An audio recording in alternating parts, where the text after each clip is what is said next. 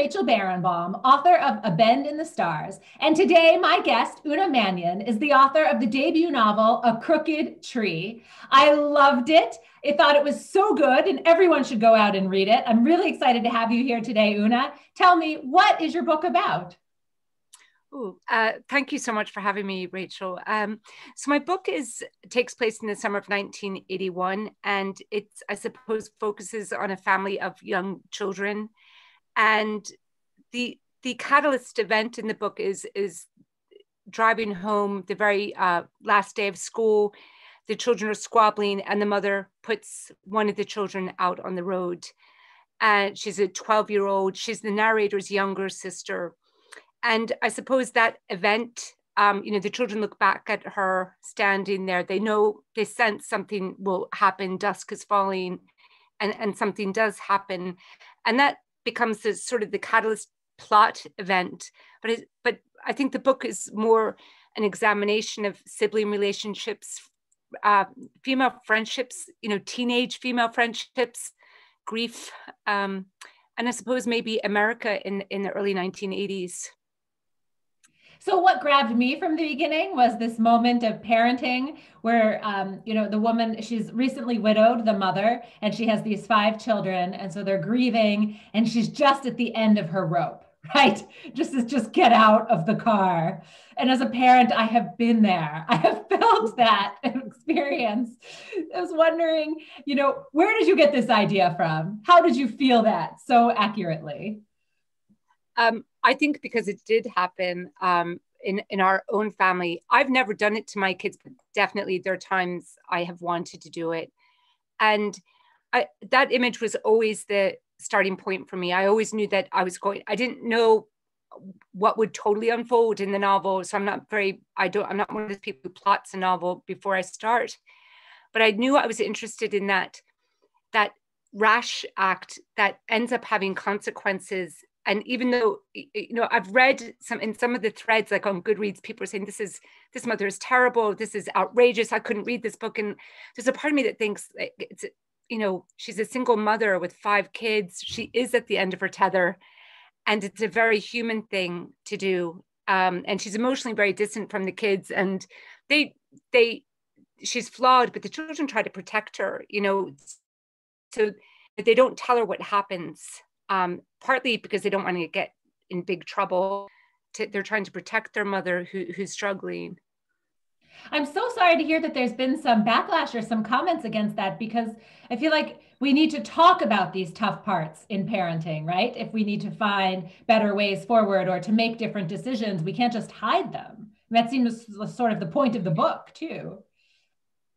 Yeah, I, I, think one of like I think about this a lot because uh, you know I've reared three kids. My youngest is 15 and my eldest is 20, and I, I have three, uh, one in the middle there, and who just turned 18. And I think as as I've been parenting, I've parented in a very different way than than I grew up. I had freedom when I grew up. I had freedom to to get in trouble and get into bad experiences and to to wander into amazing experiences. And I think a little bit now, I, I feel that I kids that opportunity. We live out in the middle of the country. They're very dependent on me to get a, to, you know, to be driven wherever they need to go. And I wonder how much fear and, you know, that I've, uh, my perception of the universe, of not trusting the universe, that I've taken away some freedoms that they have. And I do think that I'm not the only parent starting to question that about how much we obviously we have to protect our kids. Also, at the core of this novel, though, is really um, the 15 year old narrator, right? And um, this, this, sort of struggle to pull away from your family at a time when maybe your family is trying to keep you close. Could you talk a little bit about that? Yeah, it's funny. I almost feel like Libby's the op the opposite of that. So experience you know there are these other forces these external forces that you know her family unit is to a certain extent coming to an end and she's the one who's not ready to let it go. And so i feel like so much of this last summer um, where she's with her family is her desperation to to to hold on to everything and to not not grow up and not um, not have people want you know go into their their next phase of life and she's only 15 and it is too young. Um, but i think there's a lot you know you know she's she learns over the course of the summer. So there's so many emotions and different uh, paths in this book. I'm curious what was the hardest part to write? Ooh.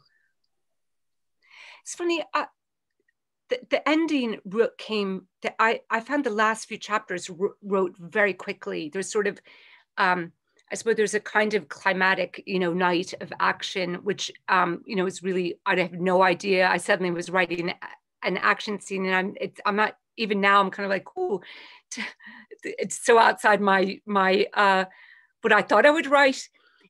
Uh, but after that, and the kind of the last few chapters, I actually, maybe I was so in the book at that point, I found that, that much easier. Um, and I think the hardest parts to write um, I found the mother hard to write. And a lot of people have commented like the mother, we can't see her and we, we want to know more about her. But I think that was the part of the point was um, how to strike that balance of she, the child can't see her. She can't see her mother's pain. She can't see her mother's desire. She can't see her how young her mother's still in her 30s. You know, she's young. And she so I think that probably um, that writing the mother took the most um, care because I definitely did not want to write like an Electra story where you have the ghost of the father and you know and wanting to murder the mother. You know, I didn't want the tyrannical mother. I, but but there is a damage there, and I just thought, how do how do you find that that place where at the end it's not all tidied up, but but there is understanding and there is um, recognition of who her mother is. So you are uh, an award-winning poet. You've written short stories, but this is your debut novel. Can you tell me how different it is to write a novel? Um, yeah. So it's funny. Um, I I have been writing quite a bit of short stories, and the poetry um, often comes out of prose for me. So I'm not someone who always starts off writing a poem. I'll, I'll, probably be writing a story, and the register starts to change, or the language starts to heighten, and I'm like, oh, line break, or you know, that that something's compressing. And I love the compression of the short story. I think it is. I loved the craft. I think it's a, an incredible incision into like straight into the heart of something um, but i think every word counts and you have to be very skilled. I loved the freedom of writing a novel. Um, i loved the freedom of taking time of looking around of having a broader span of time of having extra characters. Um, i loved reading like again about the 1980s like reminding myself of places. You know i was on google maps walking streets you know that I knew from childhood, but you know, I was like there walking on Street View. Um, and I love, and I think in a story, like there are times you research a story, but it doesn't have that kind of expanse. Tell me, do you have any advice or words of wisdom for new writers?